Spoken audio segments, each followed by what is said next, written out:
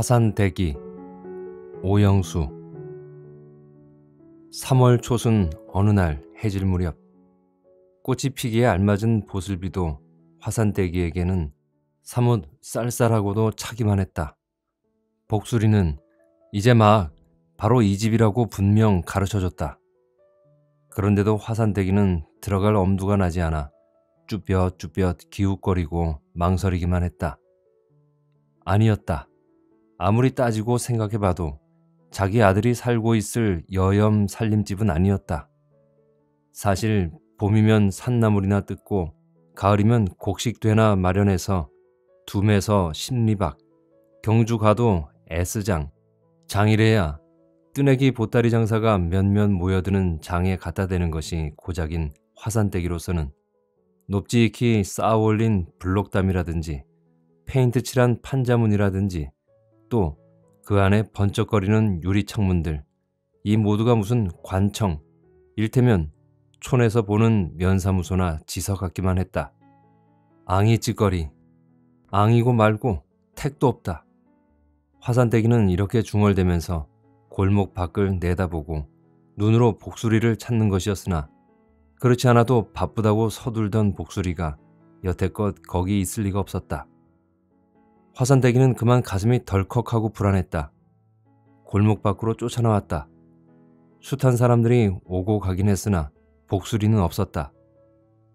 어찌할꼬 복수리 꺼정 없으면 일을 어찌할꼬 화산대기는 발비둥을 치고 또 되돌아 들어왔다.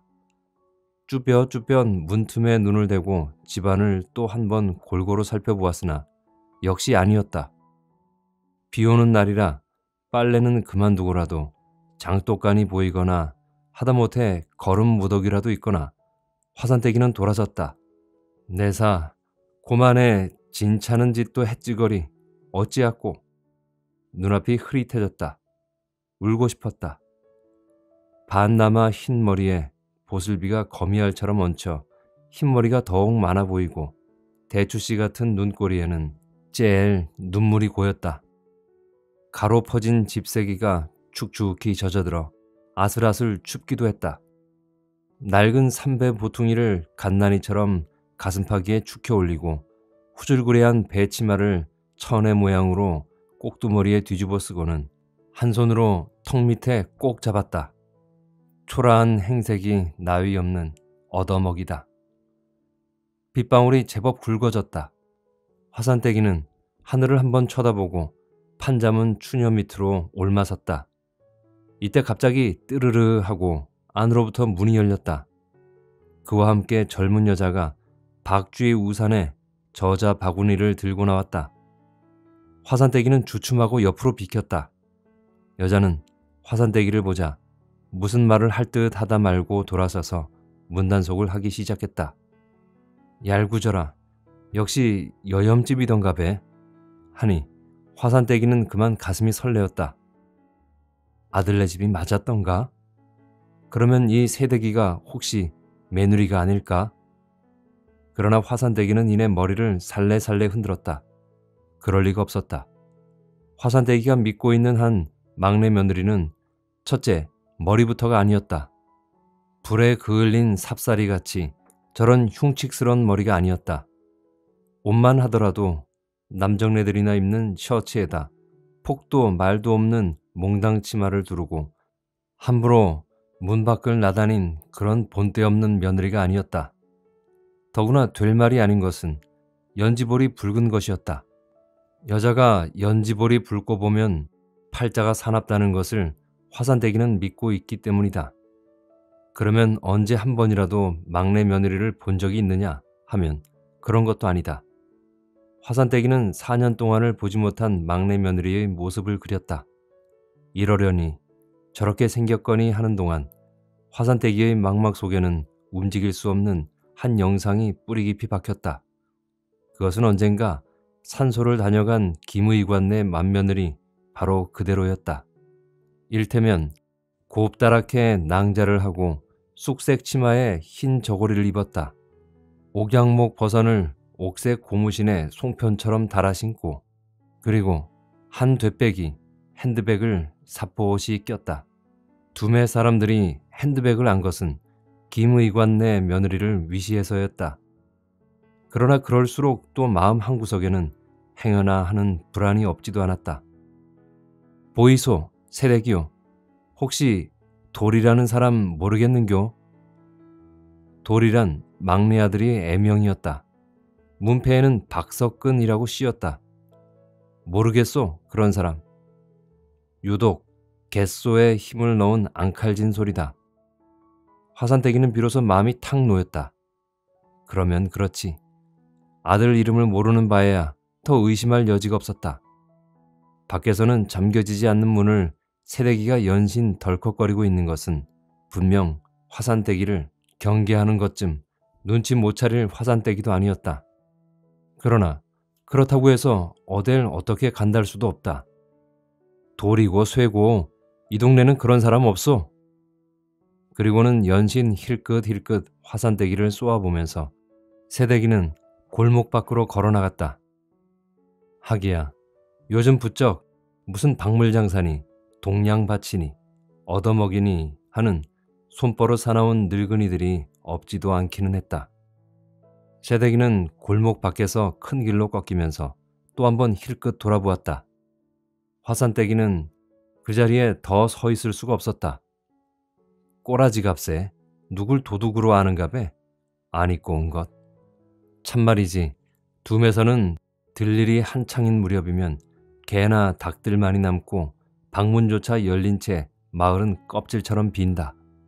그래도 도둑이라고는 모르고 살아온 화산대기는 귀때기 새파란 젊은 것의 하는 짓이 정말 안이 꼽고 괘씸했다. 그러나 그보다도 더욱 괘씸한 것은 복술이었다. 채 알지도 못하고 엉뚱한 나무의 집을 대주고 가버렸으니 화산떼기는 그야말로 저문 날 길을 덧든 나그네였다. 화산떼기는 큰 길에 나가보기로 했다. 도둑 혐의도 안 입고 왔지만 행여 아들을 만날까도 싶었다. 그새 아들이 지나가지는 않았을까. 문득 이런 생각이 들자 화산떼기는 또 가슴이 덜컥했다. 주척주척 걸어나갔다. 그러나 채 몇 걸음 가지도 못하고 그만 길 복판에 발이 붙어버렸다. 아들이 오고 있기 때문이었다. 대추 씨 눈을 수없이 깜빡거리면서 보고 보았으나 분명 아들이었다. 화산대기는 그만 목이 꽉 메었다. 말보담 눈물이 앞섰다. 그새 아들은 화산대기를 비켜 서너 걸음이나 지났다. 화산대기는 그제서야 야, 야. 아들은 힐끗이 돌아만 보고는 또 걸었다. 모르는 모양이었다. 내다. 야, 야. 화산대기는 비로소 뒤집어 쓴 치마를 훌쩍 걷어내렸다. 아들은 눈부터 둥그레졌다. 화산대기는 아들 앞으로 다가갔다. 아들은 완연히 당황해했다. 길 아래 위를 살피면서 어짠 내린기요? 화산대기는 애원이나 하듯 목맨 소리로 보고 싶어 왔다. 아들은 잠깐 동안 무엇을 망설이고 나서 들어갑시다. 그리고는 앞을 서서 바로 아까 번 그 집으로 들어가는 것이었다. 무슨 관청 같은 집도 화산대기는 그리 달갑지 않았다. 아들을 만난 반가움보다도 수세미처럼 엉클리는 심사를 주체할 수 없었다. 빨간 스웨터를 입고 너덧살 되어 보이는 계집아이가 말끄러미 화산대기를 바라보고 아버지 이거 누구고 응? 화산대기가 그렇게도 보고 싶어 하던 손자 딸이다. 할매다. 우리 할매? 음. 아들은 맥없는 대답을 하면서 헌 고무신 한 켤레를 내왔다. 화산대기는 걸레로 터실터실 부른 발 뒤꿈치 더먹이를 훔치면서 그렇기 나고는 처음 보니 하는데 아들은 손끝에 집세기를 걸고 나가 쓰레기통에다 던져버렸다. 고무신이 대견찮은 것은 아니다. 그러나 길 걷는 데는 집세기가 화산대기는 못내 아까웠다. 다다미 방도 어색했지만 눈이 부시도록 번들거리는 의농이 두 개나 놓였고 그 옆에는 앉은 키만한 경대도 놓였다. 벽에는 풀기 없는 무쇠곳들이 주르르 걸렸다. 모든 것이 낯선 것들이었다. 모든 것이 손도 못 댈 것 같고 주저스럽기만 했다.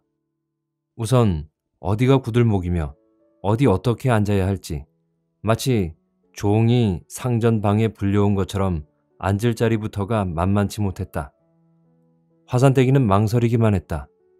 방바닥만 내려보고 생각에만 잠겼던 아들이 고개를 들고 대관절 어찌 왔는기요? 화산대기는 아들이 건네는 이 한마디가 무슨 구원이나 받은 것처럼 반가웠다. 비로소 앉을 수 있었다. 다동, 김손, 김생원 두째 아들 복수리 말이다. 모르나? 와? 화물차 조수로 댕기는? 와, 앙이라.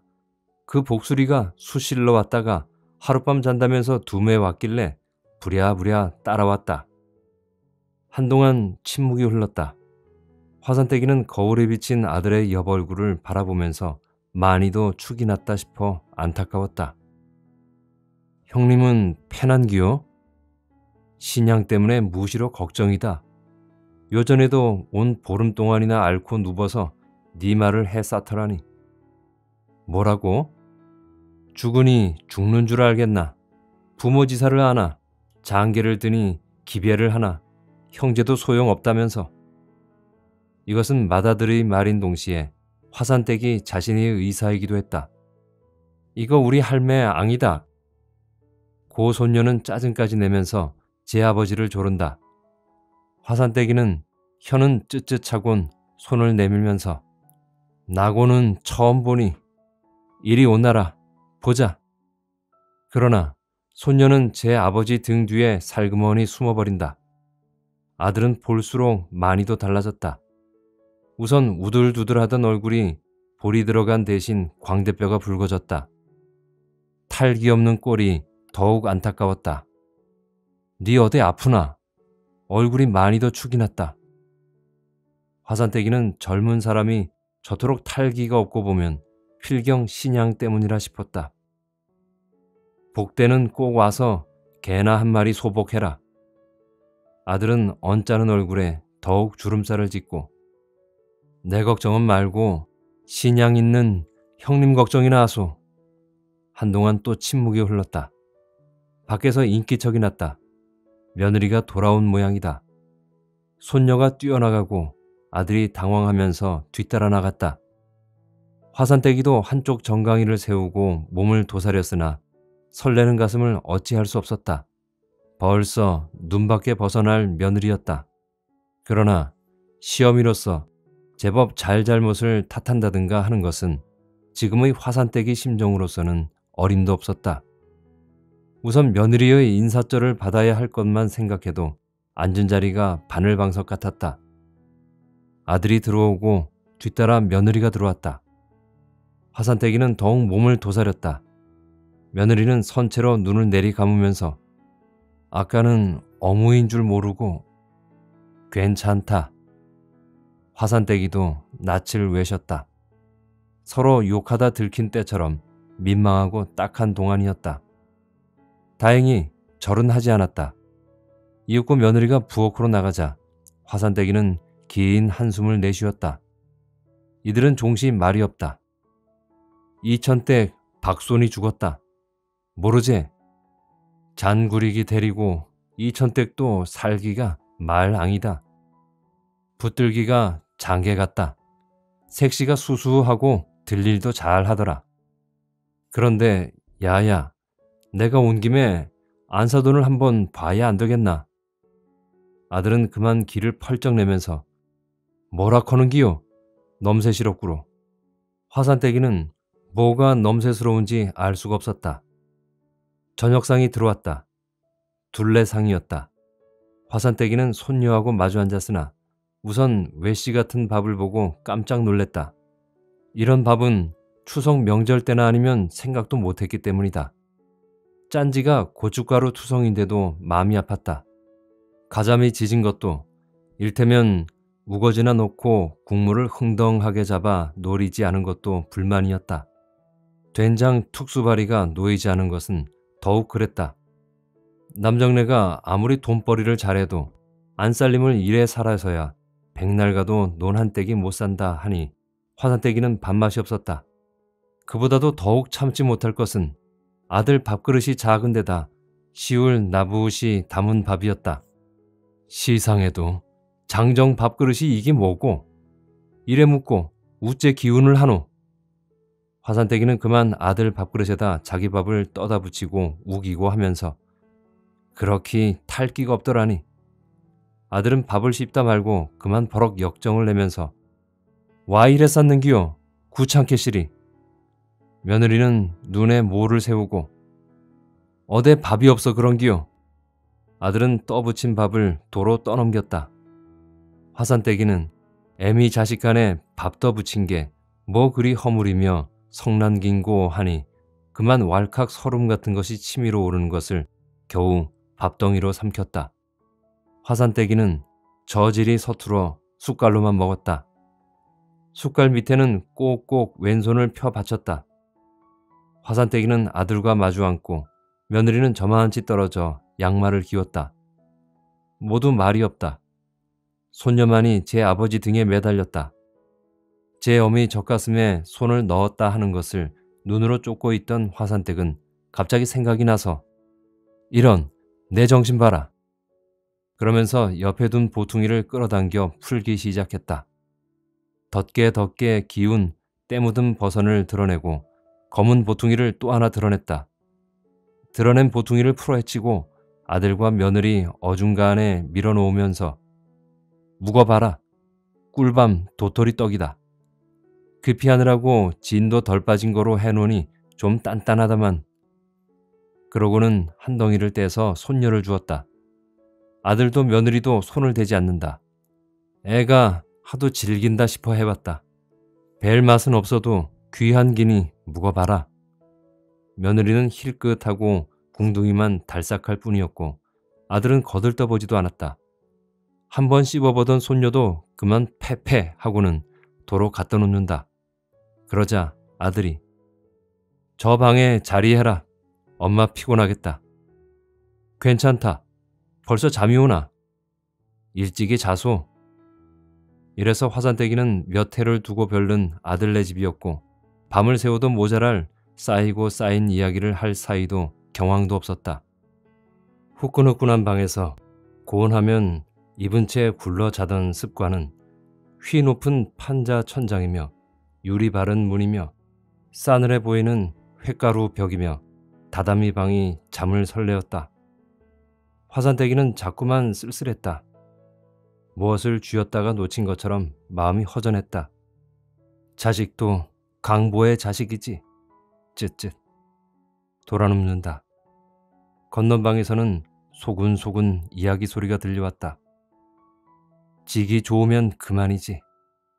또 고쳐 누웠다. 애써 잠을 청해본다. 그러나 잠 대신 화산대기는 어느새 오리나무 숲 사이로 황토 고갯길을 넘고 있다. 보리밭이 곧 마당인 낡은 초가 가시다. 빈대 피가 댄잎처럼 긁힌 토벽. 매주 뜨는 냄새가 코를 찌르는 간사리 방에 아랫돌이 벗은 손자들이 제멋대로 굴러자고 쑥불 사발을 옆에 놓고 신을 삼고 있는 마다들 갈퀴 손으로 누더기를 깁고 있는 맏며느리 화산대기는 그만 당장이라도 뛰어가고 싶다. 아들의 등을 쓰다마 기침을 내려주고 며느리와 무릎팍을 맞대고 실컷 울고 나면 가슴이 후련해질 것만 같다. 또 뒤쳐 눕는다. 아무리 지혜미가 지혜미 같지 않기로니 처음 보는 시애미에게 인사절도 없이 본바 없는 것 같으니 그래도 마실 사람들은 작은 아들 돈 잘 벌고 히레가래 하이칼라 매누리 봤다고 부러워하더라만 사장스럽고 가시롭다. 지가 탈기 없는 것도 신양기가 있는 것도 다 지집 탓이지 뭐고 이네껏 땅 한 떼기 못 사는 것도 안 살림 잘못 사는 탓이지 뭐고 화산떼기는 눈꼬리만 따갑고 잠은 점점 멀어만 갔다. 지만 하더라도 일본서 근 10년 만에 나왔으면 그만 지형 말대로 농사나 짓고 수도판 색시나 골라 장가들었으면 등 따시고 배부를 거로 뭐 공장을 하느니 하고 날뛰 댕기더니 화산대기는 어서 날이 새면 싶었다. 잠도 안 오거니와 아까부터 뒤가 마려운 것을 참아왔기 때문이다. 그러나 날은 언제 셀지 모르겠고 뒤는 자꾸 급해왔다. 화산떼기는 참다 못해 조심조심 더듬어 부엌으로 내려갔다. 부엌에서 다시 더듬어 밖으로 나갔다. 비는 그쳤고 갈라진 구름 사이로 별이 보였다. 뒷간이 있음직한 곳을 이리저리 찾았으나 없었다. 집을 두 바퀴나 돌았으나 뒷간은 역시 없었다. 대체 적산집 뒷간이 밖에 있을 리가 없다.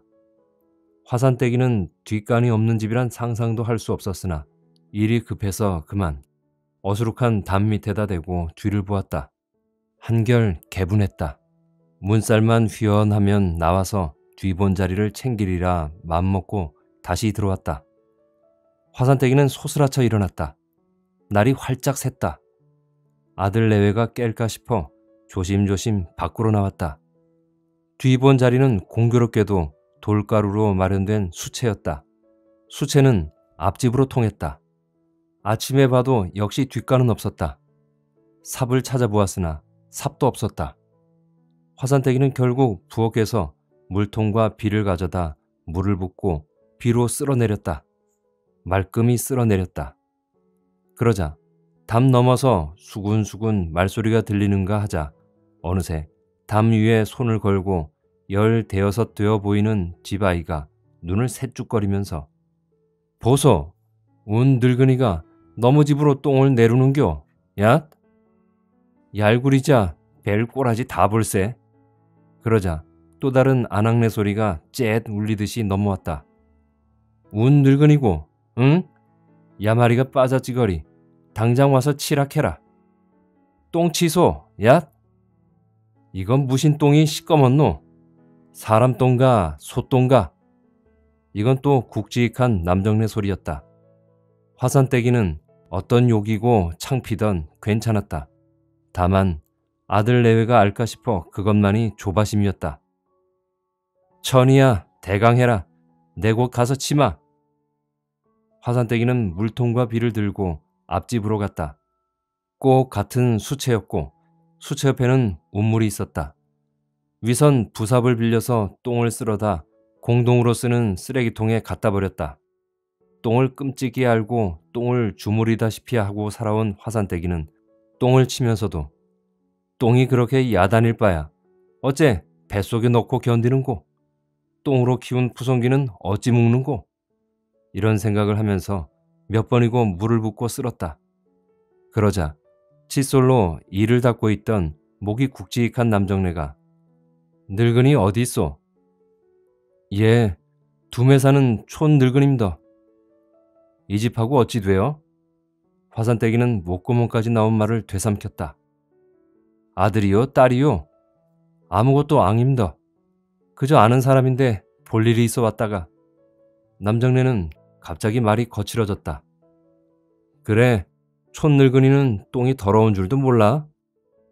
예, 어찌겠는겨. 늙은 것이 망령이 들어서 줬소 가소 화산떼기는 돌아 나왔다. 그새 행여 아들 내외가 깼을까 싶어 조마조마 문간을 들어오면서 무심코 들여다본 쓰레기통에 도토리 떡이 보자기째 내버려져 있었다.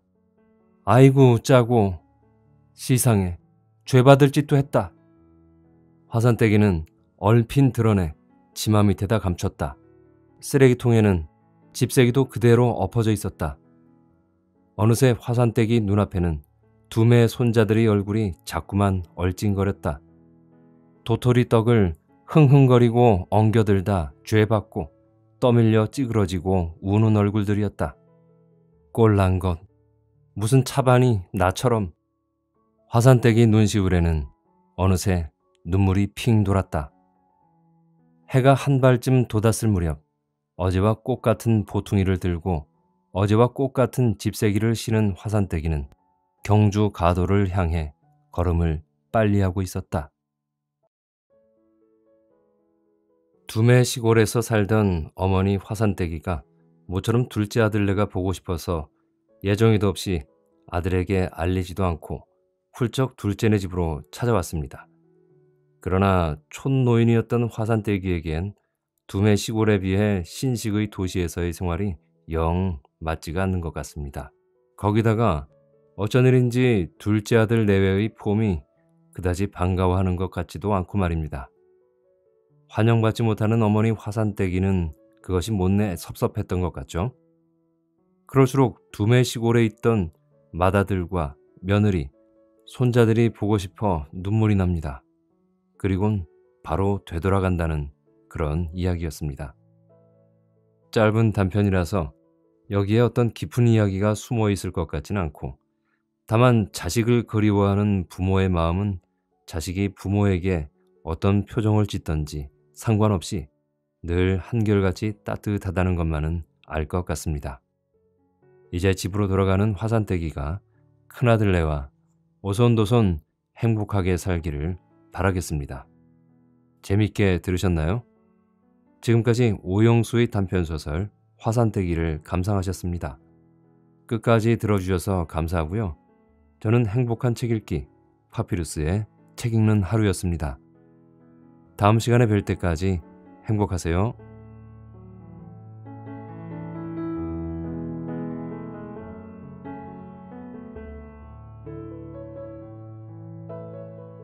알렉으로 마에스토소 이진 봄 1. 이럴 땐 눈을 감아야 한다. 에스프레소 머신이 내뿜는 숨소리가 거칠어지고 피아노 건반이 가파르게 오르내릴 때 눈동자를 눈꺼풀 속에 가둬두지 않으면 빠르게 몰아치는 곡조를 음미할 수 없다. 건반을 타고 제멋대로 미끄러지는 향기를 한껏 누리지 못한다. 의자 등받이를 최대한 뒤로 젖힌다. 소란스러움 속에서 나는 평안하다. 첫 물을 따른다. 맑고 투명하고 새까맣다. 그리고 향기롭다. 조그만 잔을 두 손으로 받쳐 눈높이까지 들어올린다. 뜨거운 기운이 끼쳐온다. 오늘 하루 아무런 말썽 없기를 피어오르는 김을 향해 나만의 주문을 웬다. 언젠가부터 시작되어 날마다 거르지 않게 된 아침 의식이다. 새하얀 찻잔이 호르르 긴 한숨으로 대답한다. 그 한숨이 손바닥을 지나 온몸의 혈관으로 퍼져나간다. 손가락 끝에서 가벼운 전율이 인다. 커피향을 제대로 음미하려면 목 넘김이 좋은 온도에서 단숨에 빨아들여야 한다. 하나, 둘, 셋. 바로 지금이다. 마시기에 가장 좋은 때. 후루룩 둘러 마신다. 구수하고 달콤한 향이 부드럽게 감긴다. 시큼한 듯 쌉싸름한 풍미가 깊고도 섬세하다. 아라비카와 로브스타의 배합 비율이 더할 나위 없이 완벽하다. 물걸레질이 끝난 바닥은 보송보송하게 말라있고 커피향을 머금은 실내 공기는 아늑하다. 첫 손님이 들기에는 아직 이른 시간이다. 등받이를 젖혀둔 의자에 다시 몸을 부린다. 낮게 깔리는 첼로의 선율이 푸근하다. 나는 하품을 깨물며 한껏 늘어지게 기지개를 켠다. 피아노 소리가 수은 알갱이처럼 방울방울 수많은 동그라미로 부서진다. 설핏 잠의 그늘 속으로 빠져든다. 따스하고 나른하다. 두 손이 의자 팔걸이에서 툭 떨어진다. 띠링띠링 도어벨 소리다. 주의력 없는 어린 고양이의 재채기 소리처럼 경박스럽다. 차가운 바람이 정수리를 때린다. 벌떡 일어선다. 어서 오세요. 멋진 아침입니다. 습관처럼 상냥한 인사가 튀어나온다. 검정색 트렌치 코트를 걸친 여자가 열린 문틈으로 고개를 들이민다. 아침부터 죄송해요. 뭐 좀 물어봐도 될까요? 뭐라 대답하기도 전에 여자가 가게 안으로 성큼 들어선다. 예의 바르고 조심스러운 말투와는 다르게 서두는 기색이 역력하다. 그러더니 코앞으로 사진 한 장을 불쑥 들이민다. 까만 졸업 가운을 입고 사각의 학사모를 삐딱하게 눌러쓴 시골 안악의 사진이다. 자녀의 대학 졸업식 날 찍은 기념사진 같다. 혹시 아시겠어요? 여자가 다짜고짜 묻는다. 사진 속 인물을 탐색할 여유도 주지 않고서 말이다. 여자의 초조함과 조급증에 떠밀려 나 역시 빠른 결론을 내린다. 글쎄요. 말꼬리를 흐리며 도리질을 한다. 여자의 눈빛이 간절해진다. 다시 한번 자세히 봐주세요. 저희 어머니인데요. 20년쯤 전이니까 지금은 이보다 훨씬 늙으셨어요. 얼굴 윤곽이 뚜렷한 독사진이라곤 이것밖에 없어서 이틀째 행방이 묘연해요. 치매로 요 근처 요양원에 오신 지 반년쯤 되는데요. 엊그제 점심 식사 후로 본 사람이 없대요. 여자의 눈이 벌게진다. 나는 사진 속 얼굴을 찬찬히 훑어본다. 초로의 여인이 눈을 반쯤 내리깔고 입꼬리를 살짝 치켜 올린 채 쑥스럽게 웃고 있다. 얼떨결에 카메라 앞에 서서 늘어진 팔을 어떻게 처리할지 눈빛을 어디에 둘지 몰라 어색해하는 표정이다. 그런데 이상하다. 자세히 바라보고 있자니 웃고 있는 그 눈에서 한 줄기 눈물이 주르르 흘러내릴 것만 같다.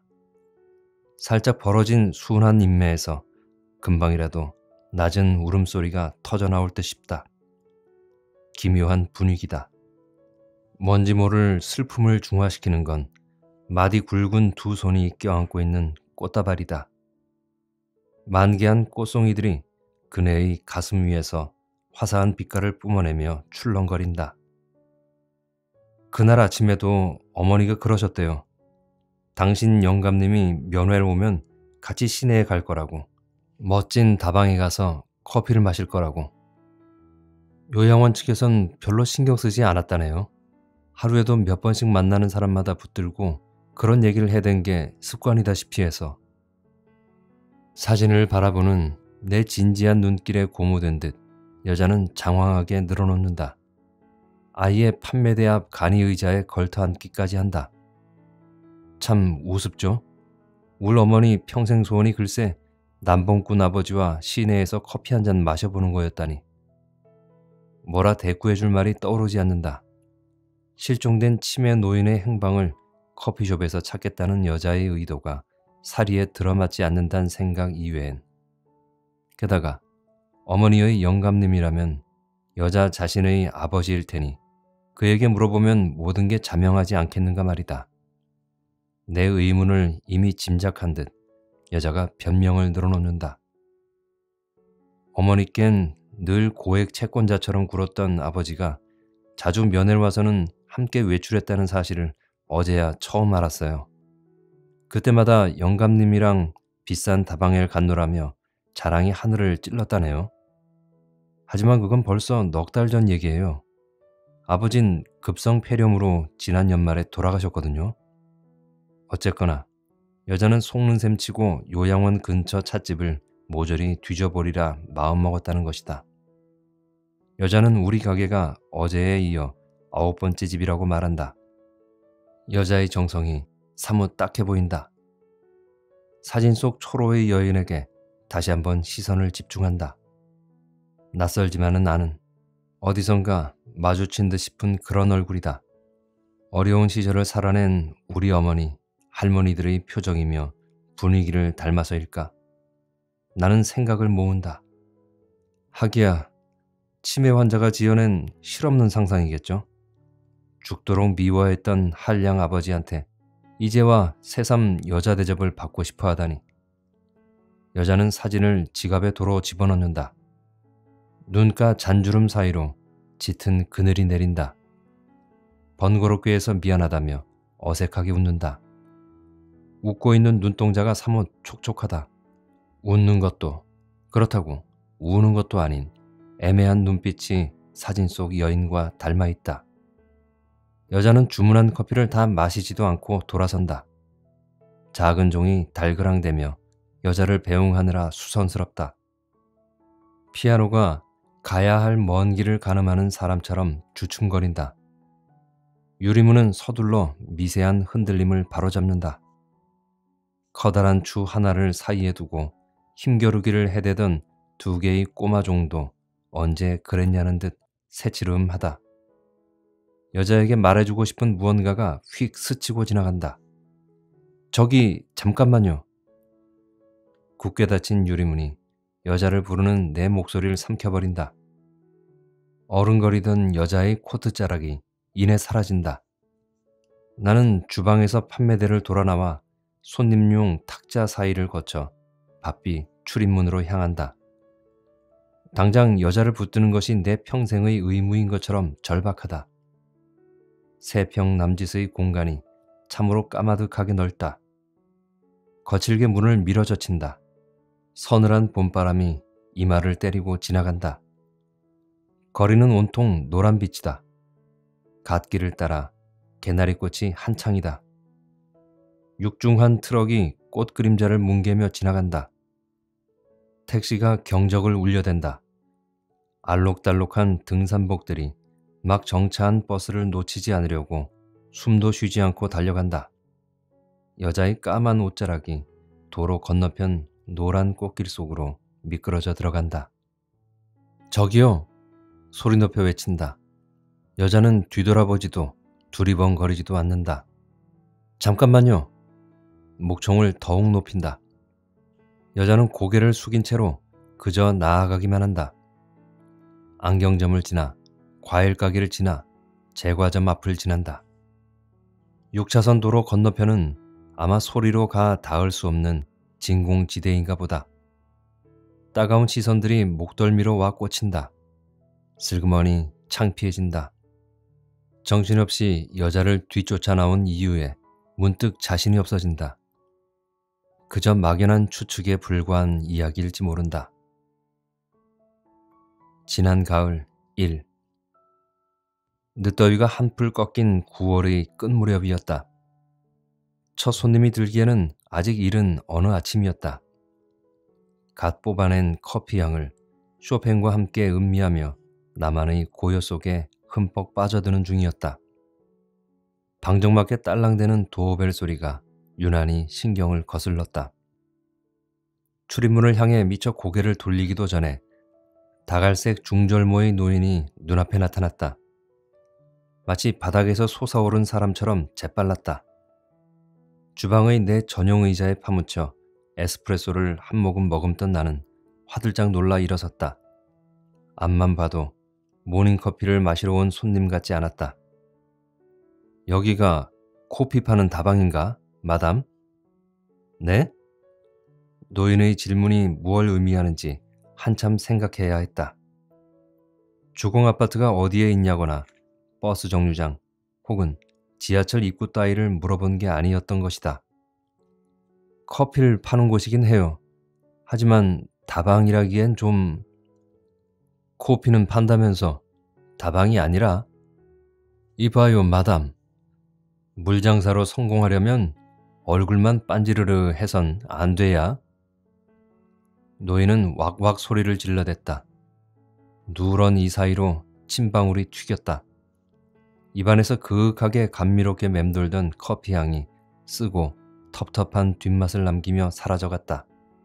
더럽게 재수 나쁜 날이 될지 모른다는 불안감에 사로잡혔다.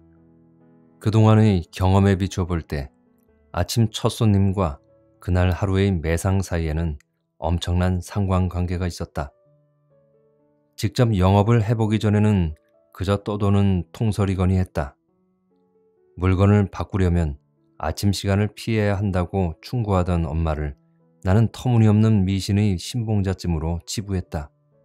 하지만 그게 장사꾼들의 감각적 통계에서 비롯되었음을 엄마의 미신 신봉이 상인들에 대한 세심한 배려였음을 깨닫는 데는 별로 오랜 시간이 걸리지 않았다. 적지 않은 상처를 입으며 손에 줄이는 비결을 터득해 두었다. 빠른 분위기 전환 이외에 다른 방법이 없다는 것. 잘난 척하고 따지기 좋아하는 손님과 실랑이를 벌이는 건 백해 무익하다는 걸 말이다. 어떤 경우에도 얼굴에서 웃음기를 거두지 않아야 하고 내가 먼저 잘못했음을 시인하고 무조건 사과해야 한다. 경우에 따라선 상대가 질릴 때까지 무상으로 커피를 제공하는 억울함도 감내해야 한다. 죄송해요. 저는 어르신이 집을 잘못 찾아오신 줄 알았죠. 마음속에 있는 불쾌감을 억누르며 볼을 허물었다. 눈꼬리에 애교스런 주름을 잡고 아랫입술은 동글게 말았다. 목소리는 필요 이상으로 가늘고 높게 하여 여성스러움을 과장했다. 딸 같은 여자에게 괜한 일로 핏대를 세운 자신에 대해 부끄러워하며 노인이 서둘러 나가주기를 기대하며 나의 아담하고 예쁜 커피숍에 전혀 어울리지 않는 손님을 빨리 몰아내는 방법이 그뿐이라는데 생각을 집중하면서 말이다. 그려, 그려. 어른 말을 잘 들으면 자다가도 떡을 얻어 먹는 법이여. 노인의 얼굴에 느물거리는 웃음기가 서렸다. 그의 만족스러운 눈길이 나의 얼굴이며 목덜미, 어깨선을 지나 가슴께를 찬찬히 훑어 내려갔다. 둘 사이를 가로막고 있는 판매대마저 뚫어버릴 듯 집요했다. 온몸이 가려워지기 시작했다. 그러면서 풋 웃음이 터져나왔다. 아무것도 어쩌지 못하는 늙은 수컷의 허세는 코미디다. 나는 애써 표정을 다잡으며 물었다. 커피 드시러 오셨어요? 뭘로 준비해 드릴까요? 짐짓 사무적인 말투로 깍듯하게 물었다. 노인은 헛기침을 해대며 메뉴판으로 눈길을 돌렸다. 보자. 에스프레소 아메리카노 카푸치노 노인은 글씨를 막 배우기 시작한 어린애처럼 또박또박 읽으려고 애를 썼다. 그의 손가락이 판매대 위에 붙은 메뉴판의 글자 하나하나를 더듬어가며 허공에 점을 찍었다. 기양 코피로 달라 그려요. 어디선가 들릴 듯 말 듯한 여자 목소리가 새 나왔다. 연 자줏빛 생활 한복을 정갈하게 차려입은 노파였다. 내가 노인과 신경전을 벌이는 사이 슬그머니 들어와 앉은 모양이었다. 눈을 반쯤 내리깔고 어색한 웃음을 머금은 채 탁자에 팔을 괴고 있는 모습이 여느 할머니들 같지 않았다. 첫 데이트의 설레는 처녀처럼 보이기조차 했다. 나는 그들이 어떤 관계인지 갑자기 궁금해졌다. 그려, 그려. 코피 두 잔으로 주어요. 주문하는 노인의 말투가 갑작스레 공손해졌다. 조금 전까지 기세등등하던 모습과는 딴판이었다. 모든 정황이 순식간에 이해되었다. 커피숍 문을 열고 당당하게 들어서던 노인의 꼿꼿한 발걸음이며 터무니없는 트집 그리고 나를 샅샅이 훑던 뻔뻔한 눈길이 무슨 의미였는지 노 부부의 나들이라기엔 서로에게 미치는 긴장의 강도가 너무도 팽팽했다. 노인은 정갈한 노파의 마음을 사기 위해 세상 물정에 대한 해박함과 자신의 남성을 한껏 과장해 보인 것이다. 한 잔만 시켜요. 나눠 마시면 되잖아요. 노파는 노인을 자기 옆에 끌어다 앉히며 낮은 소리로 속삭였다. 행여 내가 들을까봐 눈치 보며 조심스레 제안하는 것이었다. 우습기도 하고 어이없기도 했다. 약수터에서 물을 나눠 마시거나 공원에서 볕을 나눠 쬐는 게 그들에게 어울리는 데이트 방식일 터였다. 주제넘게 젊은이들의 연애 풍속을 흉내내는 늙은 연인들을 골탕 먹이고 싶어졌다. 나는 발음하기 어려운 커피 상품의 명칭들을 간단한 설명을 덧붙여 친절하게 읽어주었다. 그리고는 어떤 걸 원하는지 정확히 주문해달라고 요청했다. 노파의 환심을 사고 싶어 안달난 노인이 거드름을 피우며 에스프레소를 주문했다.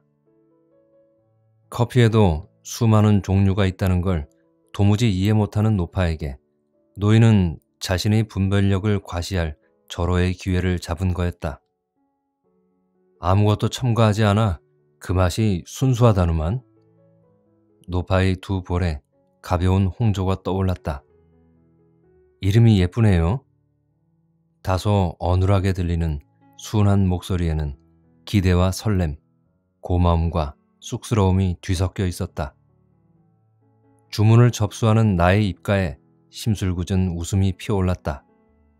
인스턴트 커피 가루에 설탕과 크림 분말을 잔뜩 넣은 것 말고 커피에 대해 그들이 아는 게 더 있을까? 진짜 에스프레소 잔을 앞에 두고도 여전히 화기애애 할 수 있을까? 이걸 시방 코피라고 주는 것이요? 아니나 다를까 노인이 펄쩍 뛰었다. 소주도 아니겠고 눈꽃만한 종재기에다 달랑 삐약이 눈물만큼 담아내온 요것이 코피란 말이요? 설탕이나 크림은 어디로 출장 간겨? 거기다 모닝코피라면 마땅히 따라와야 할 계란 노른자는 뭔 놈의 다방이심이 요렇게도 사나운고? 너희는 다만 호기를 부리는 게 아님을 내게 확인시키려는 듯 표정마저 험하게 일그러뜨렸다. 그런데도 전혀 긴장되지 않았다. 웃음이 나오려고까지 했다. 희극영화 한 장면의 엑스트라로 출연한 듯 싶은 가벼운 흥분마저 잃었다. 나의 심술은 한 걸음 더 나갔다. 이게 아무것도 첨가하지 않은 순수한 커피 원액 에 스 프 레 소 라는 겁니다. 우리 가게는 이걸 전문으로 판매하는 곳이고요. 조금 전에 제가 충분히 설명해 드렸죠? 어르신께서는 분명하고 정확하게 주문하셨고요. 설탕은 여기 있으니 원하시면 넣어 드세요. 그리고는 애써 냉랭한 표정을 지으며 봉지 설탕을 노인에게 한 주먹 내밀었다. 돌이켜 생각해보면 커피숍을 시작한 이래 내가 저지른 가장 어리석은 행동이었다. 연인 앞에서 한껏 자신을 과장하고 싶은 수컷 공작새에게 그렇게까지 모멸감을 안겨줄 필요는 없었던 것이다. 노인의 언성이 거칠어지고 훈계의 수위가 한층 높아졌다. 인심 좋고 후덕했던 옛날 다방 마담들의 행실이 신사임당의 부덕에 비견되고 저울과 계산기로 중무장한 인정머리 없는 세태는 모두 내 탓으로 돌려졌다. 우애와 친교의 메카였던 다방이 천박한 장사치들의 소굴로 전락한 건 역시 내 책임이었다. 그들이 어울리지 않는 장소에 왔음을 깨닫고 서둘러 떠나주기를 바랐건만 분위기는 내 의도와 전혀 다르게 전개되었다. 나는 노인의 거친 항의에 적잖이 당황했다. 그의 항변이 그러다고만 할 수도 없었다. 나는 그들의 커피 향유 권리와 능력을 한껏 무시했으며 무엇보다도 노인을 구애 중인 남성이라는 관점에서 파악하지 않았다. 그의 흥분을 잠재울 비책이 얼른 떠오르지 않았다. 한참을 쩔쩔매고 있는데 엉뚱한 곳에서 노인의 주의를 끄는 사건이 터졌다. 조용히 앉아있던 노파가 구역질을 해대기 시작한 것이다. 퇴, 퇴. 아이고 써라. 나를 이렇게 골탕 먹이려고? 설탕이며 크림 따위를 첨가하지 않은 커피 원액이 노파에게는 씁쓸한 한약 같았을지 모른다. 그네는 목구멍으로 넘어간 커피물을 몽땅 개워내기라도 할 듯 탁자 위고 가게 바닥이고 가리지 않고 캑캑거리며 침을 뱉어댔다. 그러면서 툴툴거렸다. 노인에 대한 원망 같기도 신세 한탄 같기도 한 주절거림이 이어졌다. 눈물, 콧물을 짜내기까지 했다. 부끄럼 타는 소녀 같던 조심스러운 웃음과 말씨는 더 이상 남아있지 않았다. 노인의 얼굴에서 모든 표정이 사라졌다. 그는 멍한 눈길로 노파를 바라보았다. 갑자기 망치 따위로 얻어맞아 얼이 빠진 사람 같았다. 노파가 하염없이 주절거리는 동안 뭐라 변명을 하려는 듯 입술을 달싹거리기도 했다. 노파에게 다가가 그네의 등을 쓰다듬으려고도 했다. 노파가 매몰차게 그의 손길을 털어냈다. 정도 이상으로 격렬한 거부의 몸짓이었다. 어쩔 줄 모르고 허둥대는 노인을 바라보고 있자니 죄책감이 몰려왔다. 그렇게까지 궁지에 몰아넣을 생각은 아니었는데 방금 전까지 기세등등하던 노인의 얼굴에 짙은 피로가 내려앉았다. 모두 다 제 실수예요. 두 분이 드시기에 좋은 걸로 권해드려야 했는데 다시 한 잔 만들어 드릴 테니 노여움 푸세요. 나도 모르게 친절한 제안이 터져나왔다. 노인에게 미안스러운 만큼 노파가 밉살스러웠다. 생식 능력을 상실하고서도 이성에게 도도하게 구는 암컷의 허영이 동질감으로서가 아니라 감추고 싶은 칩으로 공명되었던 까닭이다. 어쨌거나 혹 때려다 혹 하나를 덧붙인 꼴이 되었다. 그들을 달래야 할 뿐더러 청소를 새로 해야 하는 처지에 이른 거였다. 게다가 커피 무료 시음까지 괜한 심술이 불러들인 적잖은 손해를 감수하기로 마음먹고 얼룩진 탁자부터 닦기 시작했다. 흥분해 있는 노인들을 다독일 커피 상품으로 나는 카푸치노를 택했다. 계피향이 탁월한 해결사 노릇을 해줄 거란 생각이 퍼뜩 든 때문이다. 구수하고 달콤한 커피에 대한 그들의 기대를 충족시키는 이외에 수정과의 얽힌 추억까지 끌어내게 한다면 나의 실수는 만회될 것 같았다. 소복이 부풀어 오른 하얀 우유 거품 위에다 짙은 갈색의 계피가루를 살살 뿌렸다. 문 여는 소리가 들렸다. 정약사일 거라고 생각했다. 커피광인 그녀는 매일 아침 일정한 시간에 나타나곤 했다. 초가을의 서늘한 아침바람이 등 뒤에서 나를 껴안았다. 오소소 소름이 돋았다. 노인들에게 내갈 두 잔의 카푸치노를 쟁반 위에 얹으면서 나는 건성으로 그녀에게 아침 인사를 건넸다. 아무런 대답도 들려오지 않았다. 그러고 보니 노파의 캑캑거림도 웅얼거림 소리도 들리지 않았다. 고개를 돌려 가게 안을 살폈다. 아무도 보이지 않았다. 정력사가 들어온 게 아니었다. 노인들이 인사도 없이 떠난 것이다. 뭔가 허전했다. 밤새 씨름했던 수학 문제를 새벽녘에 잠깐 졸고 나서 간단히 풀어버린 사람처럼 얼떨떨했다. 시원스럽기도 했다.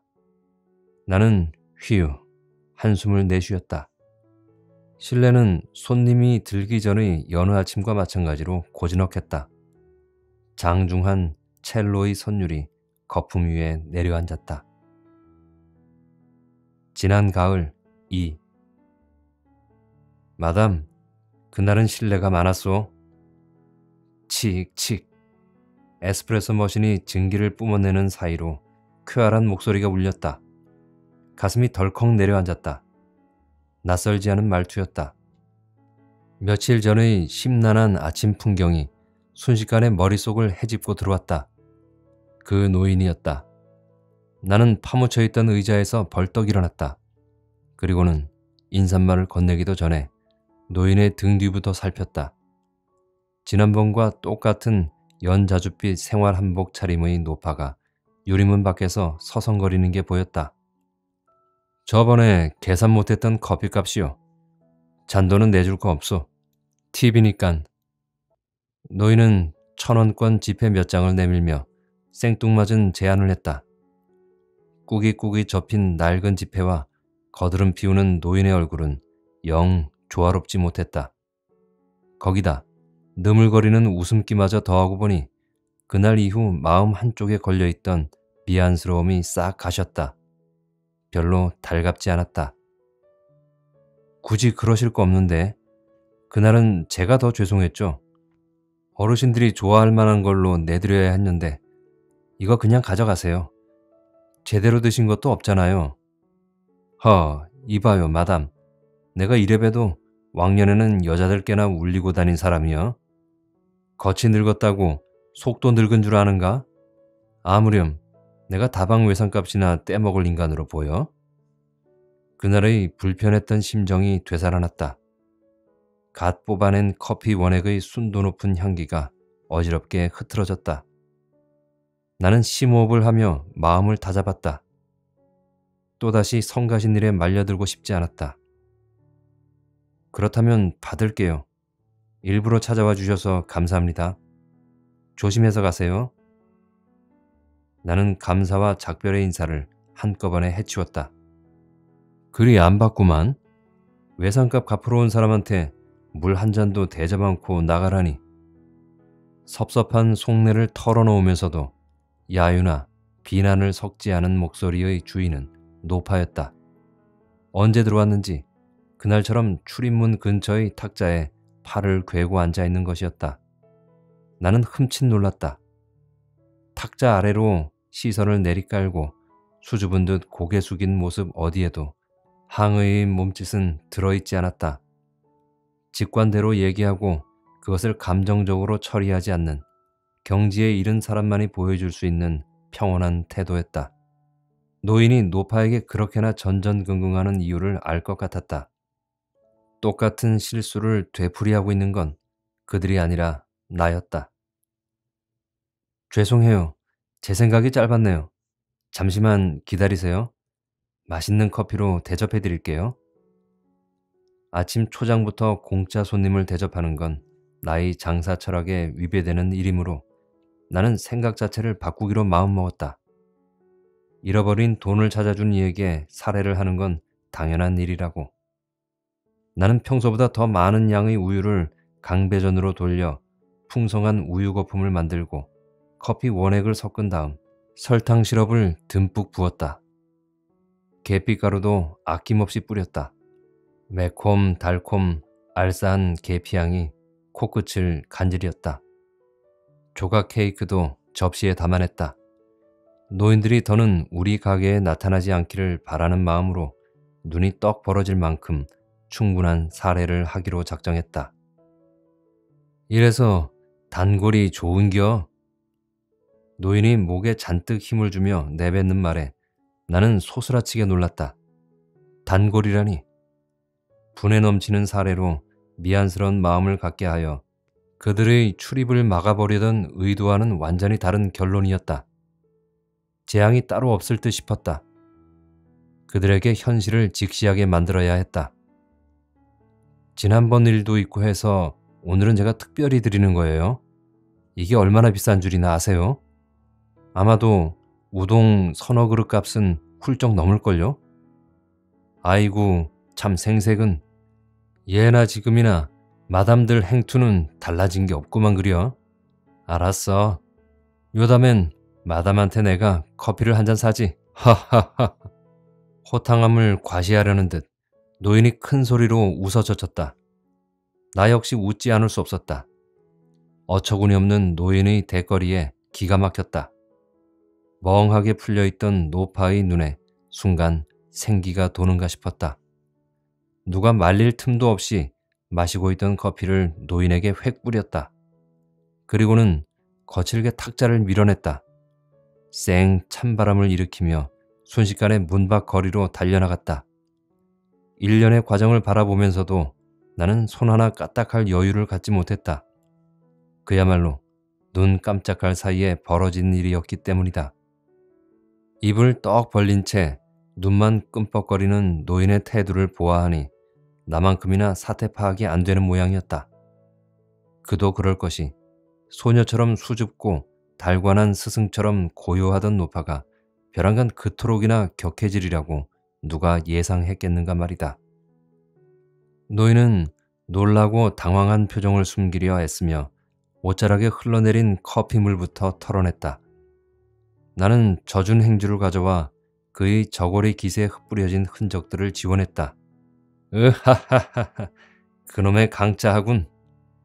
뭔가 갑자기 깨달은 사람처럼 노인이 혼잣말을 내뱉으며 실수했다. 그러면서 내게 한쪽 눈을 찡긋거렸다. 화를 낼 수도, 그렇다고 웃어 보일 수도 없었다.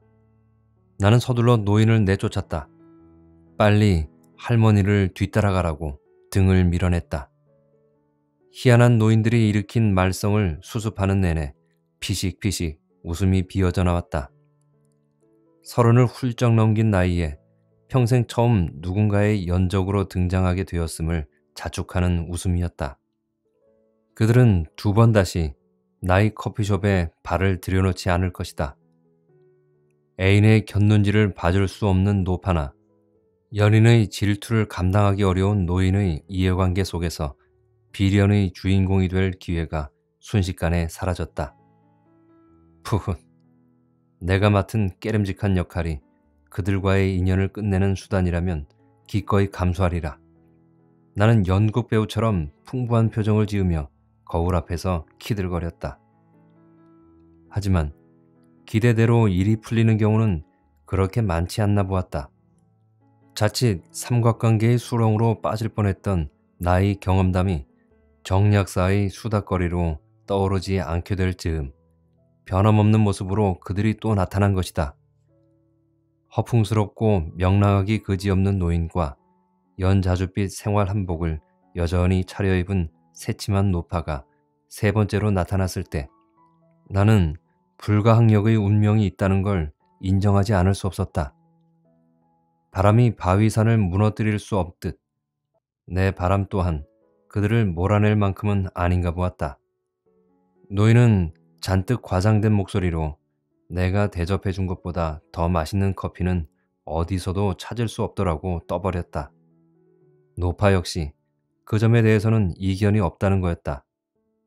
마담에게 약속한 커피를 사려고 다시 왔노라며 그는 후질근한 양복 저고리에서 만 원짜리 지폐 한 장을 꺼내 보였다.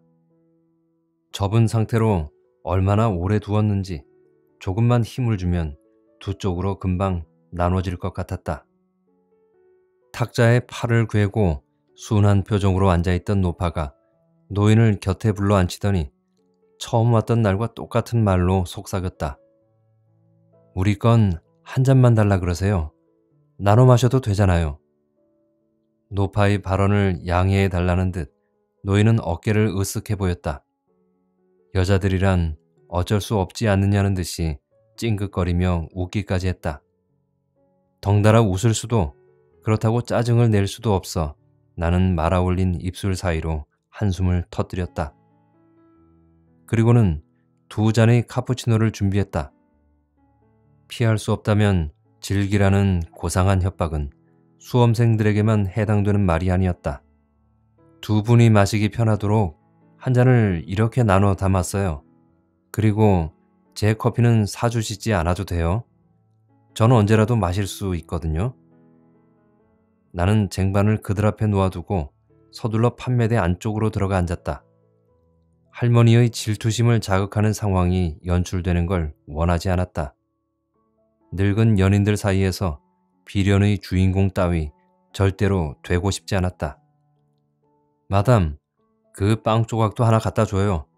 그날 제대로 맛을 못 봤거든.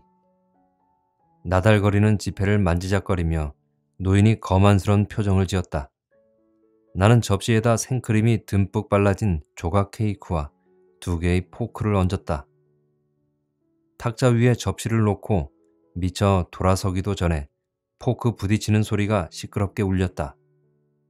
내가 판매대 안쪽으로 들어와 앉을 때는 접시가 이미 말끔히 비워진 상태였다. 노인의 얼굴에 더할 나위 없는 만족감이 떠올랐다. 창밖 거리로 멍한 눈길을 주고 있는 노파의 입술에 하얀 크림이 잔뜩 묻어 있었다. 그런 그네의 옆얼굴이 소녀처럼 해맑았다. 그들과의 만남이 처음으로 평온했다. 쇼팽은 불안감을 떨쳐내고 피아노 협주곡 1번 2단조 알렉으로 마에스토소를 연주하기 시작했다. 빠르고 경쾌한 피아노 음률이 오케스트라와 만나 깊이 있고 장중한 분위기를 연출해냈다. 온갖 감정의 결들을 어루만지면서도 어디 한 군데로 치우치지 않는 편안함. 달콤하고 부드러운 음률이 노인들을 감싸고 돌았다. 가끔씩 내는 후루룩 소리가 아니라면 그들이 거기에 앉아 있다는 걸 잊어버릴 지경이었다. 단골 손님 몇이 들어섰다. 쉬는 날이면 항상 길 건너 스크린 골프장에서 내기를 하는 이들이었다. 그들은 내기에 건 돈을 계산하고 서로의 실력 품평에 열중하느라 노인들에게 아무런 관심도 기울이지 않았다. 그들의 목소리가 높아지는 만큼 나의 손길도 부산해졌다. 두 노인이 슬그머니 자리에서 일어났다. 나는 한 장값을 제외한 나머지를 거스름 돈으로 노인에게 건네주었다. 수선 비우지 않고 얌전하게 있어준 데다 다른 손님들이 나타나자 자진해서 일어선 데 대한 고마움의 표시였다. 다음에 또 오라고 싸게 주는 것이지? 친절에 고마워하기는커녕 호객행위로 단정하는 노인의 뻔뻔한 얼굴이 밉상이었다. 그렇지만 애써 다정하게 웃어 보였다. 별 탈 없이 그들이 나가주기를 간절히 바라면서 아마도 그때부터였을 것이다. 새로 갓 뽑은 커피의 첫물을 음미하기 전 그날 하루 아무런 말썽 없기를 바라는 나만의 의식을 시작한 게 말이다. 그날 이후로도 두 노인은 잊힐만 하면 한 번씩 나의 커피숍을 찾아들었다. 노인의 어이없는 허세와 거드름은 여전했고 반쯤 눈을 내리깐 노파의 수줍은 미소 또한 달라지지 않았다. 나는 커피 원액과 우유를 매번 똑같은 비율로 조합하고 충분한 양의 시럽과 계피가루를 뿌린 카푸치노를 두 잔씩 준비했다. 조각 케이크도 빠뜨리지 않았다. 손님들이 들어서기 시작하면 그들은 슬그머니 일어섰고 나는 가게에서 가장 싼 커피 한 잔값만을 받는 것으로 그들의 이른 퇴장을 전송했다. 노인은 때로 외상을 하기도 했다. 두 번, 세 번 연체되는 경우도 종종 생겨났다. 나는 별로 개의하지 않았다. 별다른 말썽을 일으키지 않는 것에 고마워하게 되었고 서너 번 밀린 것을 한 잔값으로 어물쩡 해결하려는 노인이 귀여워 보이는 경지에까지 이르렀다. 그들의 방문 간격이 길어지면 은근히 기다려지기조차 했다. 정력사가 놀리곤 했다. 노인들 연애로 대리만족을 하는 불쌍한 청춘이라며. 봄 2. 커피숍 안이 휑하다.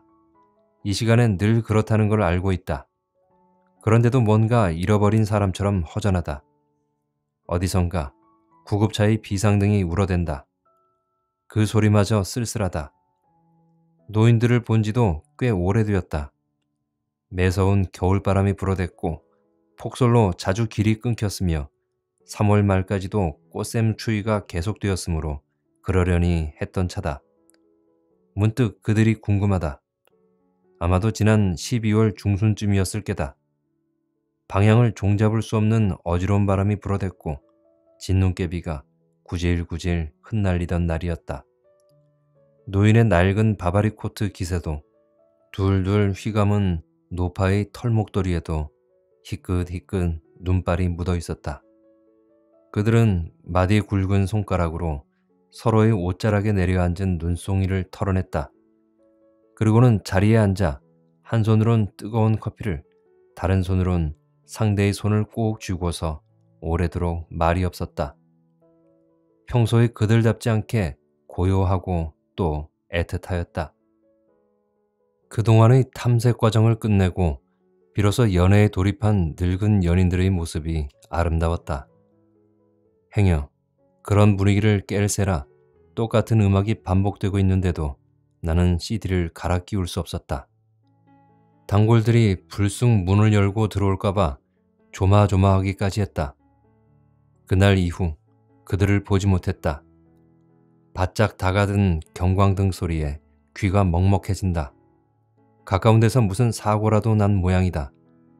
뉴스 시간에 보아온 모든 사건 사고를 떠올리며 유리문 밖으로 눈을 돌린다.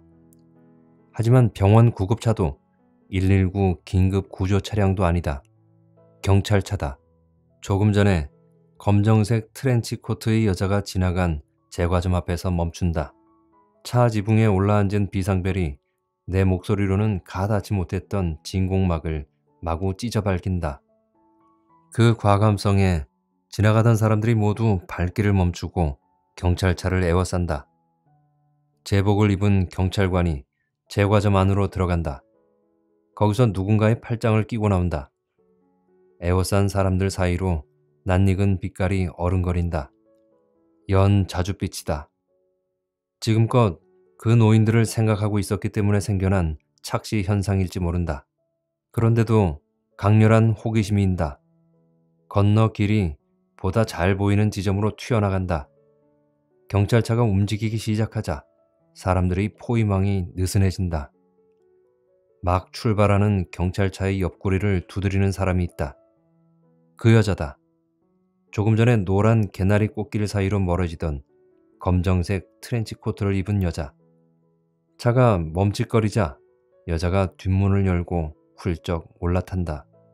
그러는 동안 왼쪽 차창 안쪽에선 저고리 소매자락이 손짓을 한다. 누군가를 간절히 부르는 것 같다. 틀림없는 연자주빛이다. 화사하지 않으나 음울한 건 아니고 강렬하지 않지만 고집스러우며 쭈뼛거리면서도 뒤로 숨지 않는 빛깔말이다. 나는 아무 생각 없이 차도로 달려나간다. 움직이는 경찰차를 뒤쫓는다. 눈을 반쯤 내리깐 노파의 어색한 웃음과 금방이라도 눈물을 떨어뜨릴 것 같던 사진 속 여인이 한 얼굴로 겹친다. 허풍쟁이 노인의 코트깃에서 눈송이를 털어내던 손과 화려한 꽃다발을 아는 마디 굵은 손가락이 뒤섞인다. 달려오던 차들이 경적을 울린다. 문을 열고 욕지거리를 내뱉기도 한다. 경찰차가 아득히 멀어진다. 그 할머니 맞지? 제과점을 은혜씨 커피숍으로 착각했던가 봐. 영감님이랑 다방에서 만나기로 했는데 어째 이상하다며 자꾸 고개를 갸우뚱거리더래. 어제도 두 번이나 거길 들렀다던데. 어쨌든 너무 충격적이지 않아? 황혼의 로맨스가 아니라 평생 왼수와의 이별 연습이었다니. 에휴, 나도 시집이나 갈까 보다. 커피숍에는 나보다 먼저 정 약사가 와 앉아 있다. 호기심 많은 그녀는 어느 사이 이런저런 정황들을 탐색하고 온 모양이다. 나는 그녀와 내가 마실 두 잔의 카푸치노를 준비한다. 강배전으로 하얀 우유 거품을 만들고 거기에 짙은 에스프레소를 섞은 다음 설탕 시럽을 넣는다. 그리고는 부풀어 오른 흰 거품 위에다 다갈색의 계피가루를 뿌린다. 나무 계단을 오르내리는 발빠른 피아노 뒤로 다정한 바이올린이 차분하고 진중한 첼로가 느긋하게 따라간다. 매콤한 계피향이 코끝을 톡 쏜다. 처음에 그 두 사람이 커피숍으로 들어왔을 때 주인이 미루어 짐작했듯 저 또한 이제 막 시작하는 노인 커플이라고 생각했습니다. 새침한 듯 소녀처럼 탁자에 턱을 괴고 앉아있는 노파와 여자 앞에서 허세를 부리는 노인의 모습은 전형적인 연애를 시작하는 커플들의 모습처럼 보였죠. 그런 커플이 처음엔 마음에 들지 않아서 골려줄 생각으로 에스프레소를 주고는 봉변을 당하는 카페 주인의 모습이 재밌게 그려졌습니다. 저는 이 이야기 중에서 노파가 카페 주인에 대해 질투를 하는 부분이 재밌기도 하고 왠지 마음이 짠해졌습니다.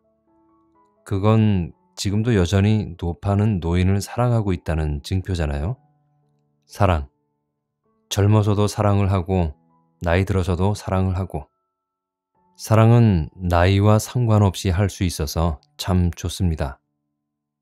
저는 사랑을 사람이 뜨겁게 살아가게 하는 꺼지지 않는 엔진이라고 생각합니다.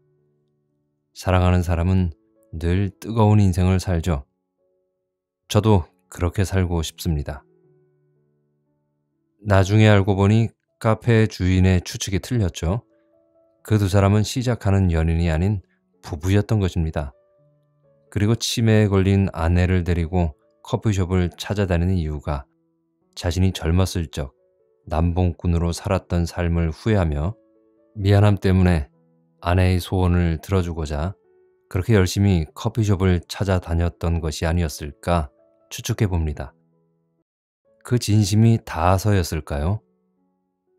홀로 남겨진 아내는 아직도 그 기억 속 남편의 약속을 기다리며 다방을 찾아 거리를 헤매이고 다녔을지도.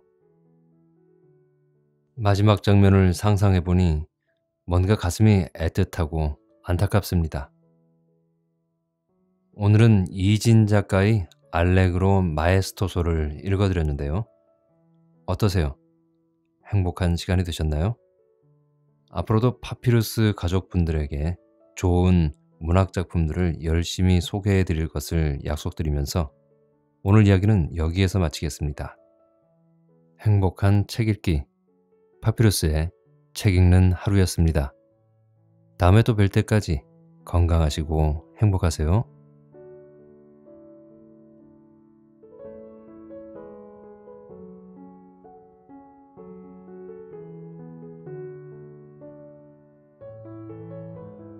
재물의 신과 사랑의 신 오 헨리 로크웰 유리카 비누 회사의 전 경영주였던 앤소니 로크웰 영감은 5번가에 있는 자기 집 서재의 창문을 내다보면서 쓴 웃음을 지었다. 이웃에 사는 귀족 사교 클럽 회원인 G 반 스카일라이트 서포크 존스 씨가 대기시켜 놓은 자동차에까지 오더니 이 집 현관 앞에 서 있는 이탈리아 르네상스식 조각을 바라보며 여느 때와 마찬가지로 사뭇 경멸하듯이 콧날을 찌푸렸기 때문이었다. 거만한 실업가 영감쟁이 같은 이라고. 이렇게 왕년의 비누왕은 입속으로 중얼거렸다. 어쩌면 나빈형 박물관인 에덴 박물관에서 저 냉정한 늙은 것을 가져다가 진열할지도 몰라. 올 여름에 이 집을 네덜란드 국기처럼 붉고 희고 푸른 색깔로 칠해버릴 테야. 그럼 전 네덜란드 영감쟁이의 코빼기도 납작해질 테지. 그러고 나서 로크웰 영감은 서재의 문 앞까지 가서 옛날에 캔자스 벌판에서 호령하던 그 목소리로 마이크! 하고 소리쳤다. 그는 초인종이 있었으나 그것에 관해서는 도무지 관심이 없었다. 도련님에게 밖에 나가기 전에 이리로 왔다 가라고 일러주게. 영감은 하인에게 말했다. 로크웰 2세가 서재에 들어왔다. 영감은 신문을 내려놓으면서 커다란 붉은 얼굴에 부드럽고 의젓한 표정으로 그를 바라보며 한 손으로 흰 머리를 극적이고 다른 한 손으로는 호주머니의 열쇠 뭉치를 짤랑거렸다. 리차드 하고 영감이 말했다. 대체 네가 쓰는 비누는 얼마짜리냐? 대학을 졸업하고 집에 돌아온 지 겨우 여섯 달째인 리처드는 좀 당황했다.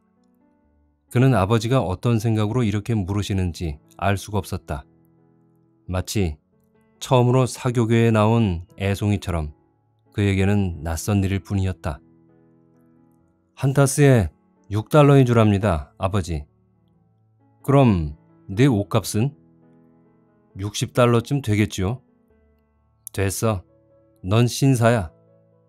하고 영감은 서슴치 않고 말했다.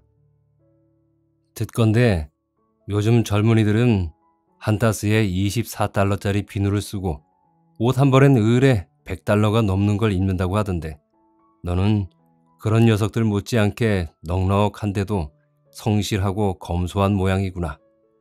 나는 지금도 우리 회사에서 만들어내는 유리카 비누를 쓰고 있다만 그건 우리 것이라서가 아니라 실제로도 가장 좋은 비누이기 때문이란다.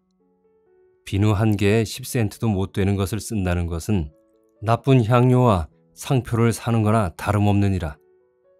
그러니 내 나이에 너 같은 지위와 신분을 가진 젊은이라면 50센트짜리는 당연할 게다. 내가 방금 말한 것처럼 너는 이제 어엿한 신사야. 흔히 세상에서는 신사 하나를 만들려면 3대가 걸린다고 하지만 그건 괜한 말이다. 비누와 마찬가지로 인간도 돈이 때를 말끔히 벗겨주는 법이란다. 돈이 널 신사로 만든 거야. 암, 그렇고 말고. 우리 집 양쪽 옆집에 사는 늙은 네덜란드 신사들 틈새에 집을 장만하고 끼어들었다고 해서 그들은 잠도 제대로 이룰 수 없다고 투덜대지만 따지고 보면 그들이나 나나 다를 것도 없지 않니? 그렇지만 돈으로 못하는 것도 얼마든지 있어요. 아들은 약간 침울한 말투로 말했다. 예, 그런 소리 작작해라. 앤소니 영감은 볼멘 소리로 말했다. 나하고 내기를 하자. 난 돈으로 살 수 없는 물건을 찾아내기 위해 백과사전까지 찾아보았다. 다음 주에는 백과사전 증보판까지 뒤져볼 생각이다. 난 어떠한 일이 있어도 돈 편에 건다. 그래, 돈으로 살 수 없는 것이 뭐라고 생각하니? 하나는 있죠. 젊은 로크웰은 약간 겸연쩍은 듯이 대답했다. 인원이 한정된 상류 사교계에는 돈 주고도 들어갈 수 없어요. 뭐? 들어갈 수 없다고? 하고 그는 큰 소리로 외쳤다. 만약에 에스터가 이 나라에 올 뱃삭이 없었던들 너희들이 말하는 그 상류 사교계라는 것이 어떻게 생겨났겠니? 젊은 로크웰은 한숨을 지었다. 내가 말하려는 것이 바로 그거야. 하고 영감은 말을 계속했다. 너를 불러들인 것도 그 때문이다. 너 요즘 무슨 고민이 있는 거냐? 벌써 두 주일이나 안절부절하고 있으니 문제가 있으면 털어놓고 말해버렴. 난 24시간 이내에 부동산 말고도 1100만 달러를 손에 넣을 수 있는 사람이란 말이다. 만약 너한테 무슨 고민거리라도 있다면 램블라 호가 석탄을 싣고 이틀 후면 바하마 제도로 떠날 수 있다는 걸 잊지 말아라. 아버지의 추측이 과히 틀리신 건 아닙니다. 그래. 하고 영감은 재빨리 말을 받았다. 그 여자의 이름은 뭐냐? 젊은 로크웰은 서재를 이리저리 거닐기 시작했다. 이 무뚝뚝한 영감이 지닌 사랑과 동정은 아들의 신뢰를 얻기에 충분했다. 그런데 왜 그 여자에게 청혼을 하지 않는 거니? 그 여자는 기꺼이 내 품 안에 뛰어들 텐데 말이야. 넌 돈도 있고 인물도 좋을 뿐만 아니라 점잖으니 말이다. 그리고 넌 어느 모로 보나 신선해. 유리카 비누 냄새가 아직은 풍기지 않는단 말이야. 넌 대학도 나왔잖니. 아마 그 여잔 이런 걸 문제 삼지 않는 모양이로구나. 전 아직 한 번도 청혼할 기회가 없었어요. 하고 젊은 로크웰은 말했다. 기회는 만들어야 한다. 영감이 말했다. 공원을 함께 산책한다거나 차를 타고 시골로 간다거나 교회에서 돌아오는 길에 바래다 준다거나 하면 되잖니? 기회가 없긴 왜 없어? 아버진 사교계라는 물레방아를 모르고 계셔요. 그녀는 물레방아를 돌리는 물의 일부나 마찬가지인 셈이에요. 그 여자의 시간은 며칠 전부터 빈틈없이 약속되어 있어요. 아버지, 전 꼭 그 여자와 결혼하고 싶어요. 그렇지 못하면 이 거리는 저에게 영원히 시커먼 신갈나무로 뒤덮인 진창이 되어버릴 거예요. 그렇다고 편지를 보낼 수도 없어요. 그건 차마 못하겠어요. 딱도 하다. 하고 영감은 계속 말했다. 내가 갖고 있는 돈은 다 내 것인데, 그래, 그깟 계집애에게서 한두 시간도 얻어내지 못한단 말이냐? 전 너무 늑장을 부렸어요. 그녀는 2년 동안 머물 예정으로 내일 모레 배편으로 유럽으로 떠나요. 저는 내일 밤 겨우 몇 분 동안 둘이서 만나기로 했어요. 지금 리치먼드에 있는 자기 숙모댁에 가 있어요. 제가 그리로 찾아갈 수는 없잖아요. 그러나 그녀가 내일 밤 8시 반 기차로 이곳에 도착할 때 전 마차를 가지고 그녀를 마중하러 정거장에 나가겠다고 했어요. 거기에서 만나서 윌렉 극장까지 가야 하기 때문에 브로드웨이 거리를 마차로 달릴 작정입니다.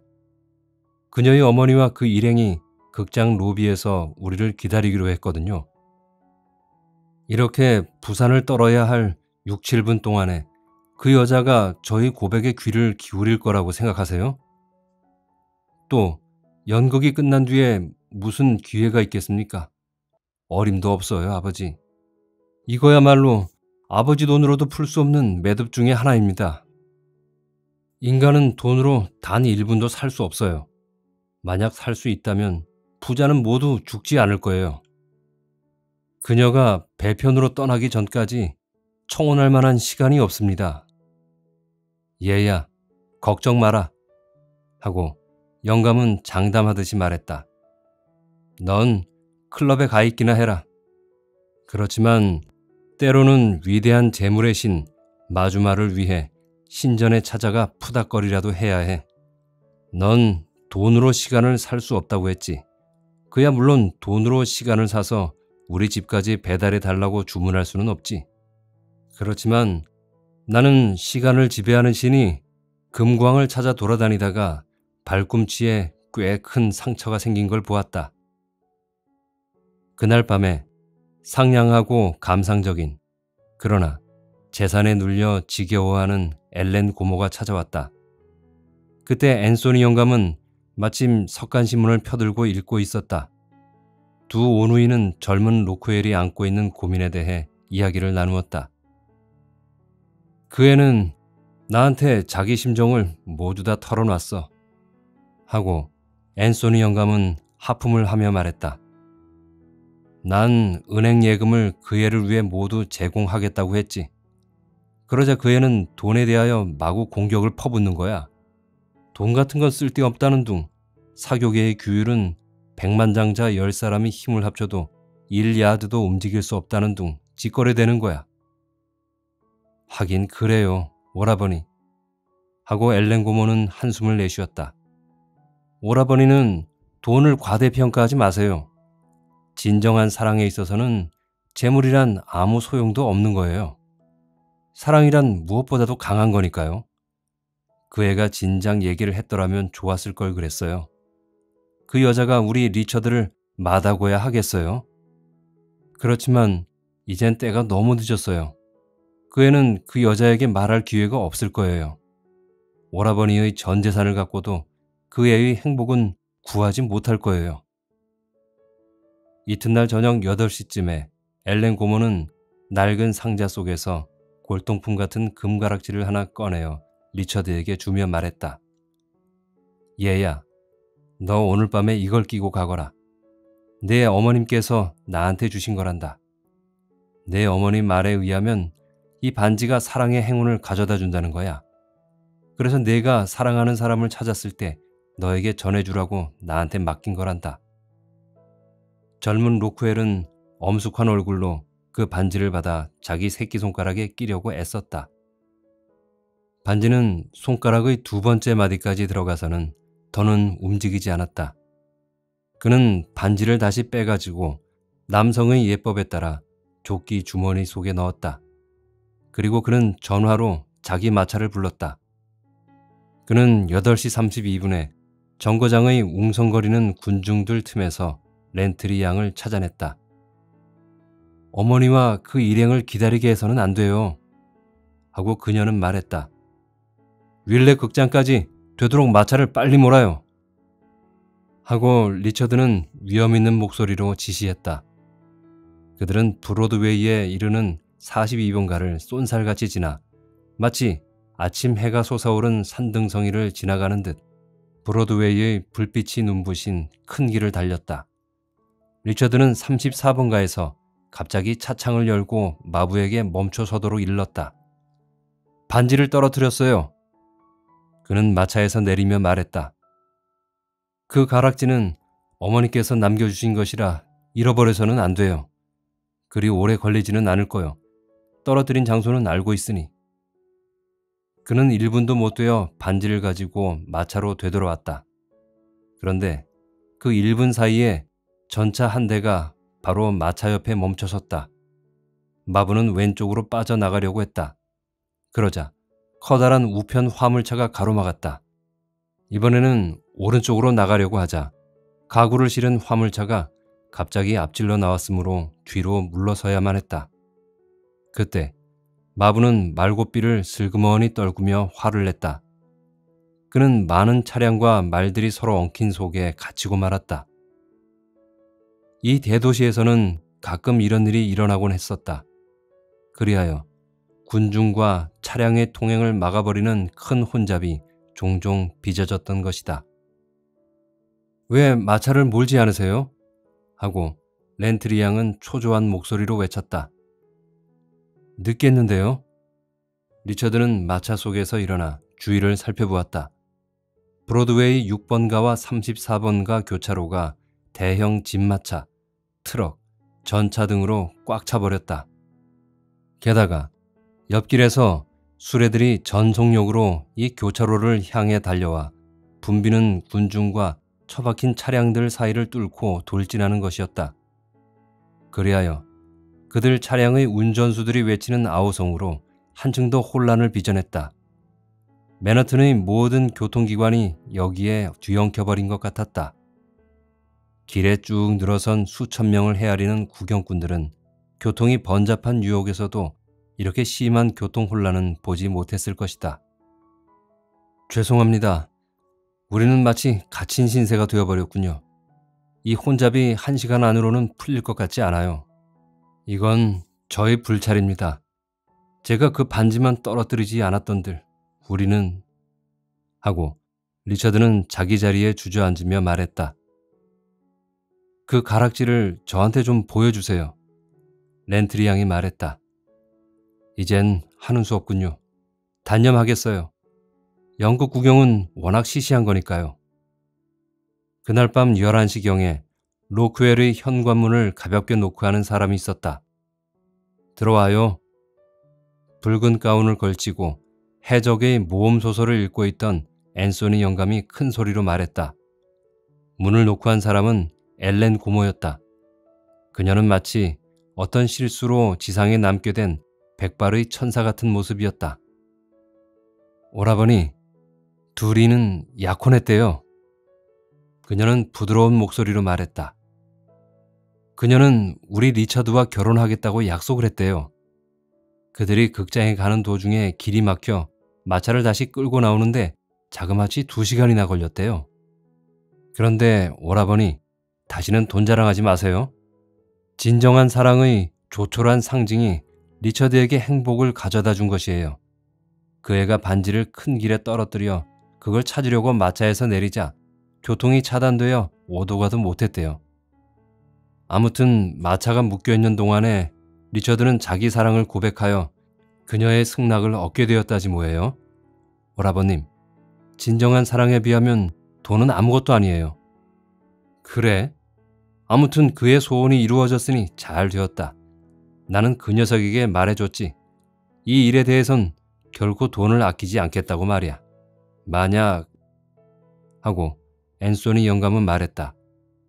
그렇지만 오라버니, 오라버니의 돈이 이번 일에 무슨 힘이 되었나요? 이봐. 앤소니 영감은 말을 계속했다. 내가 지금 읽고 있는 책에서 해적은 큰 공경에 빠졌어. 그의 배는 곧 침몰하게 되었지만 그는 돈의 가치를 너무나 잘 알고 있었으므로 어떻게든지 침몰시키지는 않을 거야. 제발 부탁이니 이 대목을 끝까지 읽겨 놔두게. 이 이야기는 여기서 맺는 것이 좋을 것 같기도 하다. 독자 여러분도 필자와 마찬가지로 생각할 것이다. 그러나 우리는 진리를 파헤치기 위해서는 우물의 밑바닥까지라도 뒤져야 한다. 이튿날 손이 우둘투둘하고 푸른 바탕에 가느다란 점이 박힌 넥타이를 맨 켈리라는 사내가 앤소니 영감댁을 찾아왔다. 그는 곧 서재로 안내되었다. 썩 잘했네. 가만 있자. 나는 자네에게 현금으로 5천 달러나 줬지? 그렇지만 제 돈이 300달러나 더 들었는데쇼? 하고 켈리는 말을 계속했다. 예산이 좀 초과되었어요. 우편 화물차와 마차는 5달러 들었지만 트럭과 말 두 필이 끄는 큰 마차는 각각 10달러 가까이 들었거든요. 전차 운전수는 5달러를 요구하고 대형 화물 자동차의 운전수는 5달러를 내라는 거예요. 그러나 무엇보다도 제가 애먹은 것은 경관이었어요. 그 두 사람에겐 50달러씩 주었어요. 그런데 주인장, 일은 멋들어지게 되었죠. 저는 경찰국장 윌리엄 A. 브레시가 이번 소동 때에 얼굴을 내밀지 않은 걸 다행으로 생각합니다. 윌리엄 씨가 직무에 충실하다가 심장 터지는 걸 보고 싶지는 않거든요. 그런데 이런 일은 다시는 못할 짓이에요. 마침 그 녀석들은 1초도 틀리지 않고 제때에 들이댔거든요. 무려 2시간 동안은 뱀새끼 한 마리도 그릴리 동상 아래를 얼씬하지 못했어요. 켈리, 자, 1300달러 받게. 앤소니 영감은 수표 한 장을 떼면서 말을 했다. 자네 몫으로 1천 달러 하고 과불 된 300달러일세. 자넨 설마 돈을 업신여기는 사람은 아닐 테지? 제가 말입니까? 켈리는 대답했다. 전 이 세상에서 누구보다도 가난을 만들어낸 놈들을 늘씬 패주고 싶을 지경이에요. 켈리가 문까지 나갔을 때 영감은 다시 불러 세웠다. 자넨 한창 혼잡할 때 마치 벌거벗은 통통한 소년이 어느 구석에서 활을 쏘고 있는 걸 본 일이 있나? 전 못 봤는데요. 켈리는 어리둥절한 얼굴을 하고 대답했다. 주인장께서 말씀하시는 그런 녀석이 있었다면 제가 거기 도착하기도 전에 벌써 순경이 끌고 갔을걸요? 물론 나도 그런 꼬마가 현장에 있었다고는 생각지 않네. 켈리, 그럼 잘 가게. 안소니 영감은 혼자 너털 웃음을 웃고 있었다.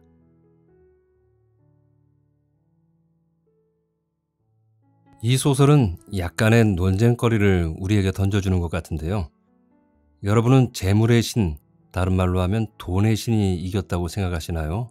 아니면 사랑의 신이 이겼다고 생각하시나요? 앤소니 영감은 분명하게 우리에게 말하고 있는 것 같습니다. 그 사랑의 결실이 맺어지는 그 혼잡한 거리에서 벌거벗은 통통한 소년을 본 적이 있느냐고요. 아마도 짐작하셨겠지만 통통한 벌거벗은 소년은 분명히 사랑의 신 큐피트를 지칭하는 것 같은데요. 돈으로 시간을 사서 만든 그 혼잡한 공간에는 사랑의 신은 없었다는 것을 확인하며 돈의 신이 승리했다는 것을 선언하는 모양새였죠. 그런데 또 이렇게도 생각해 볼 수 있어요. 어머니가 남겨주신 반지가 없었다면 작은 로크웰의 마음을 그 여자에게 전할 수 있었을까? 남자의 마음은 어떻게 전했다고 했더라도 뭔가 여자의 마음을 이끄는 결정적인 것이 없이 승낙이 가능했을까요? 어디에다 더 점수를 줘야 할지 저도 좀 난감해지는데요. 음, 그냥 이 소설 속에서만 본다면 좀 씁쓸하긴 하지만 재물의 신이 조금 더 우세하지 않은가 싶습니다. 그렇지 않나요? 만약 젊은 로크웰의 아버지가 그런 상황을 돈으로 만들지 못했다면 반지를 떨어뜨렸더라도 그 여인과 이야기할 시간이 주어지기나 했을까? 저는 아니라고 생각합니다. 아마 젊은 로크웰은 자기가 사랑하는 여인을 그냥 떠나보내게 되었을 것입니다. 여기에서 씁쓸하지만 현실적인 결론을 내려보겠습니다. 돈 있는 부모님의 사랑이 최고다. 재밌게 들으셨나요? 역시 오헨리구나 싶은 소설이었습니다. 마지막 반전은 저도 생각하지 못했던 것이었거든요. 그걸 다 돈으로 만들어내다니 대단하죠? 아무튼 즐겁게 들어주신 여러분, 피로가 좀 풀리셨나요? 그럼 오늘 밤도 편안하게 주무시고 내일 또 힘나는 힘찬 하루 보내시길 바랍니다. 지금까지 행복한 책 읽기 파피루스의 책 읽는 하루였습니다. 다음 시간에 또 뵐 때까지 건강하시고 행복하게 보내세요.